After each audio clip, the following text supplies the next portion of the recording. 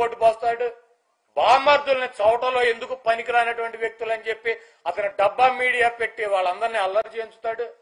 ఎవరినైనా కూడా నిస్సిగ్గుగా రాజకీయం కోసం రాజకీయ పదవుల కోసం ప్రాకులాడేటువంటి నీచాతి నీచుడు ఫోర్ ట్వంటీ గాడు చంద్రబాబు నాయుడు. ఇటువంటి ఫోర్ ట్వంటీ ముఖ్యమంత్రిగా ఉండగా హైదరాబాద్లో కావచ్చు రాష్ట్రం విడిపోయినాక ఆంధ్రప్రదేశ్లో కావచ్చు ప్రతి ఊరికి ప్రతి నియోజకవర్గానికి ఒక క్లబ్ పెట్టి జోదశాలను నిలిపి నడిపినటువంటి జోదశాలల్లో కూడా డబ్బులు తీసుకున్నటువంటి నీచాతి నీచుడు చంద్రబాబు నాయుడు. ఇటువంటి నీచుడు ఈరోజు చెప్తాడు. నా కే కన్వెన్షన్లో కొడాలి నాని సంబంధించినటువంటి కే కన్వెన్షన్లో క్యాసులో పెట్టారు. మహిళలను తీసుకొచ్చి డ్యాన్సులు వేశారు వాళ్ళతో వ్యభిచారం చేయించాడని చెప్పి నా మీద ఫోర్ ట్వంటీ గాళ్ళతో ఆరోపణలు చేయించినటువంటి నీచుడు చంద్రబాబు నాయుడు. ఈ చంద్రబాబు నాయుడిని నేను ఛాలెంజ్ చేస్తే నా కన్వెన్షన్లో జరగలేదు నా రెండు ఎకరాలన్నర ప్రాంగణంలో జరగలేదు జరిగిందని నువ్వు నిరూపిస్తే పెట్రోల్ పోసుకుని సస్తానని చెప్తే పెట్రోల్ క్యానులు పెట్టి దాన్ని ఒక కామెడీగా మార్చి తప్పించుకునేటువంటి ప్రయత్నం చేసినటువంటి నీచుడు చంద్రబాబు నాయుడు. నువ్వు సస్తావా అంటే ఈ రోజు కే కన్వెన్షన్ తీశారు కే కన్వెన్షన్ సమీపం అని చెప్పి తీశారు. గుడివాడ గుడివాడ గుడివాడ అని చెబుతున్నారు. నేను హాస్పిటల్లో ఉన్నాను ఆరో తారీఖు నుంచి. నాకు కరోనా వచ్చి నాకు ఆరోగ్యం పోగోక అక్కడ నాకు వచ్చిన వెంబటే ఇన్ఫర్మేషన్ డిఎస్పీని పంపి ఆపమని చెప్పాను. మహిళల్ని ఎంటర్ ఎంటర్టైన్మెంట్ చేయొద్దని చెప్పాను అని చెప్పి నేను చెప్తాంటే నేను మహిళలతో వ్యభిచారం చేయించానని చెప్పేటువంటి నీచాతి నీచుడు చంద్రబాబు. చంద్రబాబు నాయుడు బతుకు. నేను ఛాలెంజ్ చేసి చెప్తున్నా.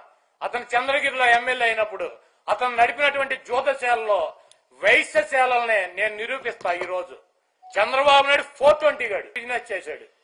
తొంభై ఒకటిలో నేనేదో లక్షల లక్షల అద్దె కట్టానని చెబుతున్నాడు. అవును నువ్వు లక్షల లక్షల అద్దె కట్టి ఉంటావు. కాకపోతే మీ నాయకుడు చంద్రబాబు నాయుడు తొంభై ఒకటిలో హెరిటేజ్ కూడా లేదు. ఆడి ప్లాట్ఫామ్ గాడే. ఆడి ఫోర్ ట్వంటీ గాడే.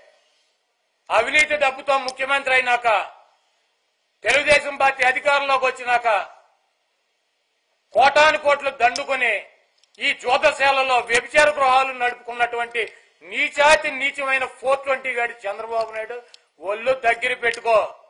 నీకు త్వరలోనే బడిత పూజ ఉంది. నువ్వు హింసించినటువంటి మహిళలు ఇప్పుడే ఒక్కొక్కళ్ళ ముందుకు వస్తున్నారు. పోలీస్ స్టేషన్లో కంప్లైంట్లు ఇవ్వడానికి సిద్ధంగా ఉన్నారు. నీ చరిత్ర ఏంటో నువ్వేంటో పది రూపాయలు ఇరవై రూపాయలు వడ్డీలకు అప్పులు ఇచ్చి నువ్వు ఎంతమంది మహిళలు వేధించావో విజయవాడలో వాళ్ళందరూ కూడా ముందు రావడానికి సిద్ధంగా ఉన్నారు. అవన్నీ కూడా కంప్లైంట్లు కట్టించి నీ బతుకేంటో నువ్వేంటో నీకు బడిత పూజ తప్పదు.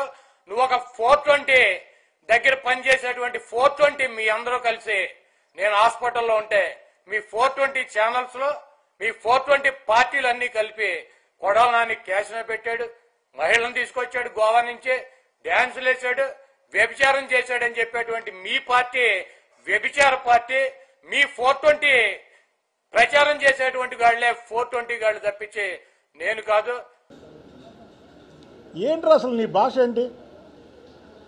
నువ్వేంటి పెద్ద రౌడీలాగా ఏంటి? గడ్డం మీసాలు పెంచుగా రౌడీయా?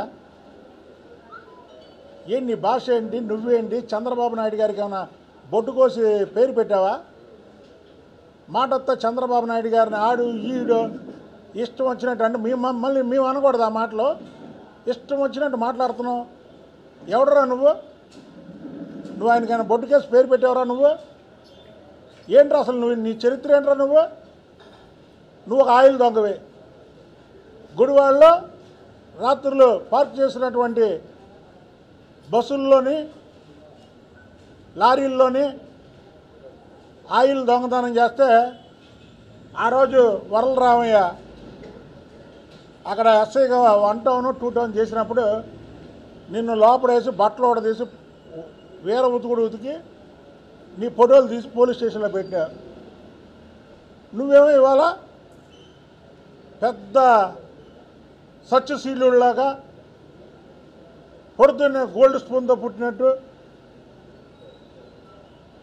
మీ తాత చల్లాపల్లి జమీందారులాగా మిగతా వాళ్ళకి ఏం లేనట్టు నువ్వు మాట్లాడుతున్నావు.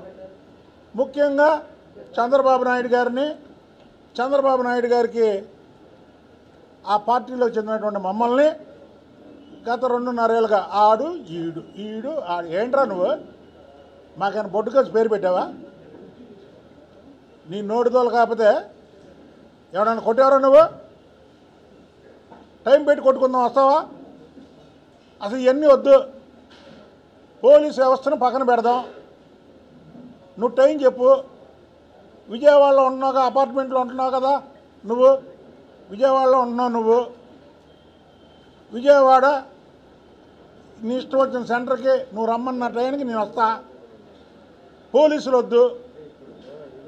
లేదు నువ్వు వైసీపీ కార్యకర్తలతో రా. నేను తెలుగుదేశం కార్యకర్తలతో వస్తా. తేల్చుకుందాం రా. ఏంటి ఏమో? అసలు ఓ, హరు, హరు, మాట మాటకి ఆడు ఈడు ఆడు ఈడు. ఏంటి అసలుకి నువ్వు?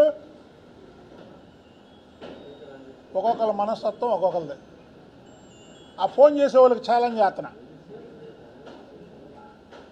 మీడియాని మీ దగ్గర పెట్టుకోండి. అదే మీడియా వాళ్ళతో నాకు ఫోన్ చేపియండి. నా దగ్గర కూడా మీడియా వాళ్ళపై ఉండండి. నాకు ఫోన్ చేయండి మీరు. నాకు ఫోన్ చేసి ఏం మాట్లాడతారో మాట్లాడండి. అరే మనం చూస్తున్నాంగా ప్రెస్ మీట్లు పెడుతున్నారు.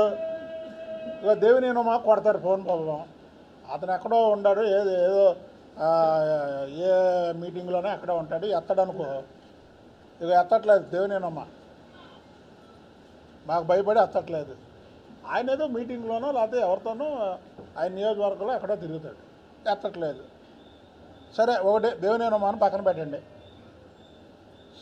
ఈసారి ఏం చేస్తారంటే మీరు ఏ టీవీకి అయితే ఫోన్ కొడతారో ఏ టీవీ ముందు ఫోన్ చేస్తారో ఆ టీవీ వాళ్ళతో నాకు ఫోన్ చేయించి ఆయన దగ్గర ఒక కెమెరా నా దగ్గర ఒక కెమెరా పెట్టండి. ఆయన నాతో మాట్లాడమని వాడిని నాతో మాట్లాడమని ఆయన కాదు మళ్ళీ బాబా వాడు నాతో మాట్లాడమనండి. ఆడేం మాట్లాడతాడో నేనేం మాట్లాడతాడో ప్రజలు చూస్తారు. అరే మాట మాటికి అతనేదో నియోజకవర్గంలో సమస్యల మీద పోరాడదాం ఆ సమస్యల మీద ఆయన ఉంటే ఆయనకి ఫోన్ చేసి ఇది ఎత్తట్లా. ఫోన్ ఎత్తట్లా. ఫోన్ ఎత్తట్లా. ఏనే